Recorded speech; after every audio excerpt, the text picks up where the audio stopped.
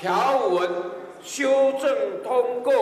立法院长游锡坤敲锤，确定选罢法第二十六条修正案三读通过，将排黑条款纳入规范，只要涉及黑金枪毒，都不得参选公职。社会最近一段时间对于黑金枪毒，还有这几年下来，我们对于这些国安事件的修法，以及对于这个诈欺案件、深伪的这个这个侵犯哦，这些人权侵犯的案件，我们都把它加进来。哦，所以行政院版十二月去年十二月五二十五号的最干净。根据新修订二十六条内容，包括洗钱、枪毒案件者，判刑有罪确定不得参选；同时纳入国安三法，接受境外势力委托泄露国家机密、判刑确定者都不得成为候选人。另外纳入身位等加重诈骗罪，甚至一审宣判十年以上者都不得参与选举。不为个案去做特别的考虑，希望来改变台湾的。政治环境，洗钱罪纳入涉及海外洗钱被判有罪入狱的陈志忠，